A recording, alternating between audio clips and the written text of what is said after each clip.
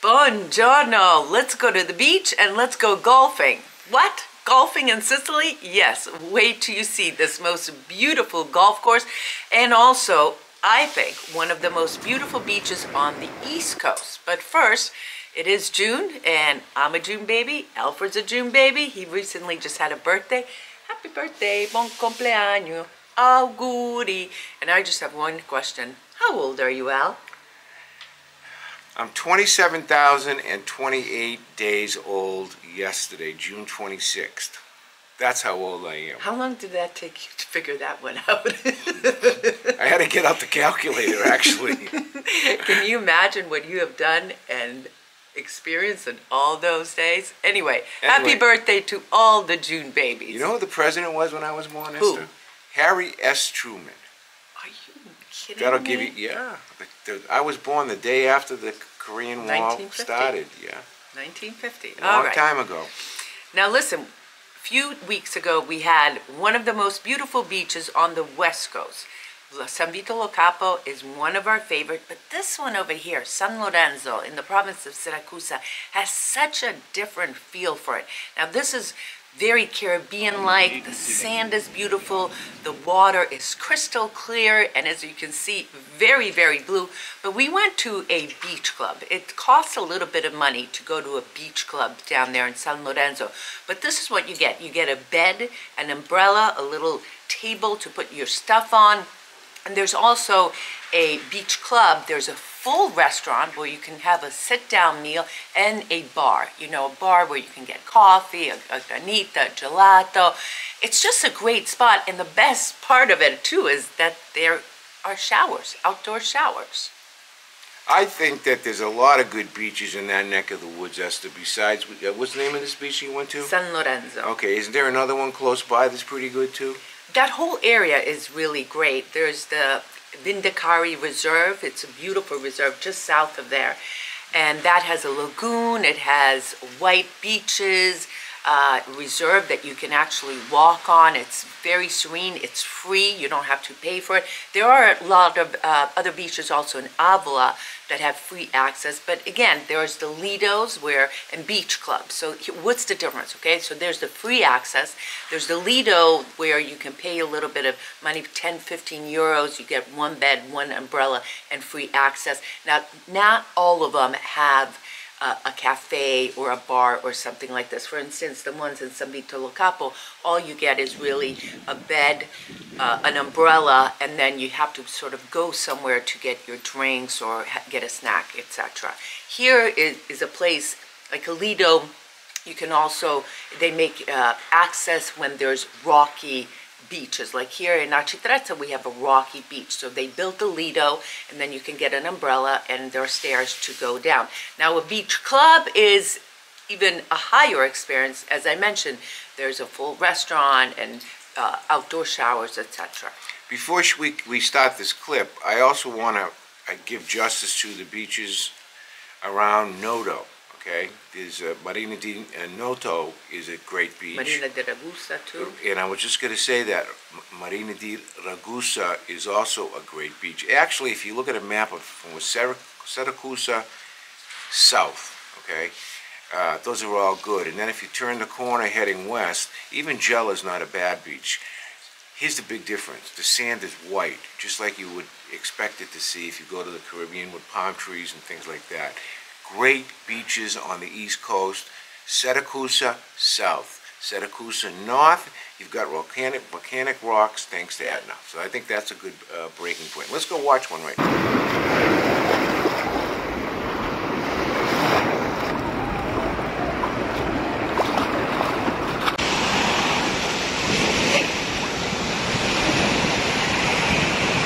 Let me tell you, this water over here is invigorating, it's fresh, and it's so clean. We're here in San Lorenzo at the beach club. And by the way, make sure you reserve a seat. You can't just walk in here and expect to find seats because, believe it or not, it's all packed. And so you have to go online to reserve a seat. But this is the scene in San Lorenzo. So you get a bed, an umbrella, little table, and walk straight to the beach. There's even a full restaurant here and a full bar.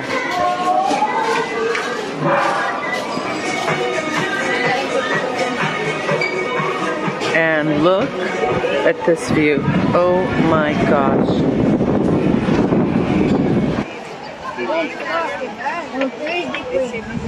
There are even showers here so you can rinse off.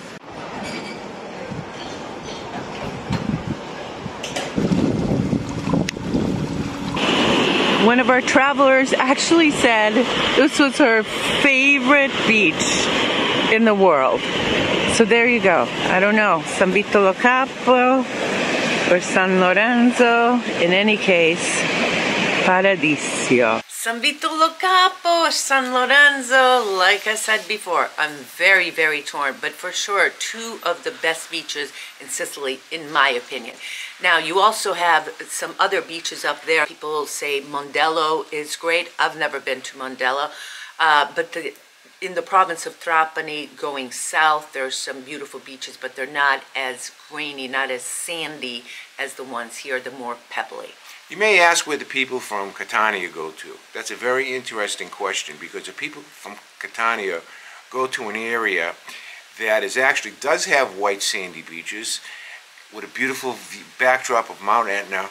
There's a series of four or five lidos there where you pay called La Plaia. La Plaia. You can uh, look it up.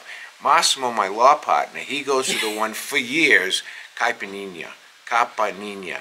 And I actually went there with him two or three times, and the uh, Isn't the- that the one that a few years ago was burnt, Burnt down, down, yeah, by the right. wildfire? Right, the wildfire. But what's really good is that they have organized activities for teens and you know Mm-hmm. young kids where they dance. They have food there as well, place to change. So in Catania, uh, there is really a nice place, and the water is always calm, and it's not too deep. I mean, those are the things that uh, La Plaia office. It's about 15 euro. It, I think Massimo said 15 euro. Or uh, you can get like a season pass. you can get a season pass Yeah. if you're here for an area. So there are lots of good beaches south of Syracuse, as I said, but also, you know, if you're in the Catania area, that's a lot better than some of the other beaches, in my view. But let me tell you again about Acitrezza and also uh, Aci Castello because there's some beach clubs on the Lungomare and Aci Castello that also have things for the teenagers. They have exercise things and dance and music and so forth. So even on up here north of Syracuse in the province of Catania, there are possibilities and, and things for you to do. I got to tell you the funniest thing. I saw uh, a meme on um, on Facebook about the Plaia, and there's a picture from the 1960s, and everyone was just walking along, talking to each other without phone calls. I mean, without the telephones, without anything. The beach was very, very clean. Sometimes that beach gets to be a little bit dirty because it is free access, and you know how people can get. They just, you know. And so people leave stuff, so it's not actively always clean. Well, so wait a that's minute. Yeah, that, that would be, in my view, uh, the free area, The the free public area. act. Yes, yeah, yes, yes. Yeah, I, I would, the link, the longer the summer goes, the dirtier it becomes, Yeah. frankly, you're right. But I wanted, I wanted to say one other thing. You remember the time, Eszter, you and I went to the Lido in, um, Castello. Castello, and it's a, it was memorable. You know why? Because first of all, you don't get yeah, you get cheers. I think they had Yes, cheers. of All right. course. But they had these misters. They were like little palm trees that you sit under, and it gently blows. Like They have those Lidos it, it, all it blows over. misty water on, on you in a hot cool. day. Yeah, it was great. Sit And by the way- colada.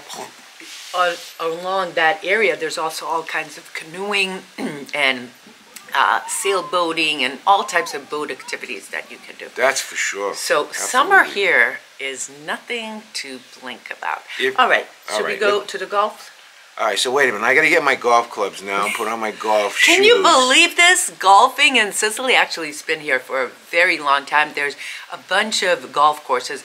Now, the one that we like is out on Mount Etna because imagine you're on Etna, Monk Forest. It's a beautiful uh, area. It's called Picciolo. And it is run by our good friends Francesco and Andrea, who we've done videos, a number of videos. They also own the hotel and a restaurant that we frequent. And these guys are real visionaries. You know, they are not only smart, but they also take chances. Taking a chance on golf, you know, you don't really think about coming to Sicily to golf. You may think more about coming to Sicily to swim in these beautiful beaches, but to take a chance on golf was a great thing uh, that these guys did. And now they opened up a putting green and a driving range and the future site of a nine-hole golf course.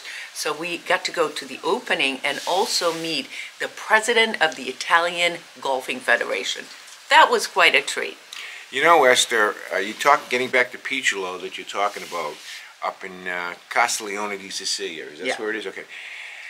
As a golfer for 30 years, uh, I recently gave it up about maybe 10 years ago because of my cranky knees. But as a golfer for 30 years, I could honestly, honestly say that that golf course is the most lush, most beautiful golf course I've ever seen. And I golfed all over New England for many years. Yeah. This one would be at the top of the list. If this thing was in New England, there would be a line 10 miles long. So you give them time with this this new place. Is right now they have the, the putting green and the driving range, and also a pizzeria. Don't forget the pizzeria there. We, That's gonna be- with the view of With the Etna, view of Etna there. and the sea. You turn one way, there's Etna and the beautiful villages, and you turn the other way, it's the sea.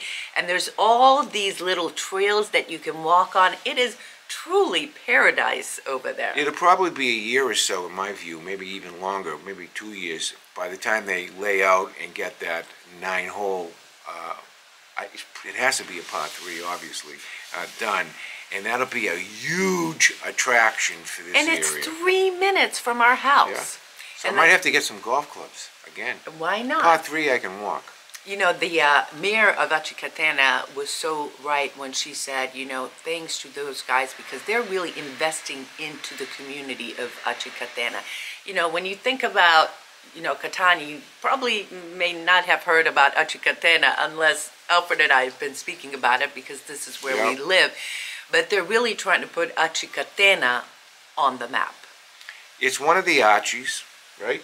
There are eight of them. If you know the eight Archies, uh, let me know and I'll send you a free T-shirt. Uh, and like the, I could tell my joke at the same time. What did the king say uh, after uh, all the Archies were conquered by the Spanish? What did he say? Come on, your line. Oh my God, my Archies have fallen. Let's listen to these guys at the golf course.